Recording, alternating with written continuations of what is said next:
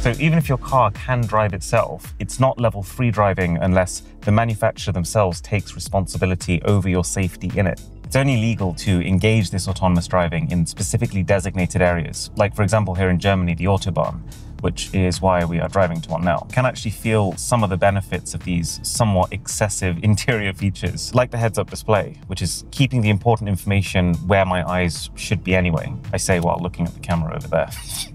Okay, so the light has come on on my steering wheel, which means the car knows it's on an autobahn and is ready to engage. So there you go. So it's going to take a couple of seconds, and while it does that, these turquoise lights are coming on. Okay. And Take off your hands. And take off my hands.